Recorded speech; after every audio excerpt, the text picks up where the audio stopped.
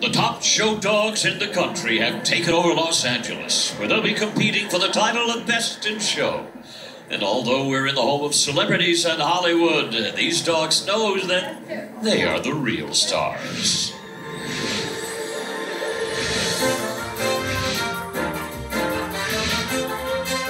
It's the 2019 Beverly Hills Dog Show presented by Purina and hosted by the Kennel Club of Beverly Hills. Hello, everyone. John O'Hurley here, along with my co host David Frei, and welcome once again to Tinseltown.